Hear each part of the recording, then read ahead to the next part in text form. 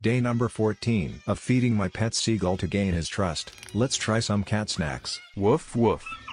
I'd rather just eat the cat. You're so cheeky. Break me off a slice, homeboy.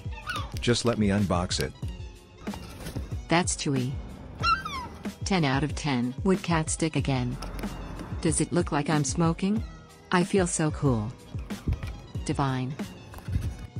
Throw one for me? Sick. You're getting so talented and strong. I am so proud. We make a good team. See you tomorrow, buddy. Bring me a cat next time, or I'll kick your ass.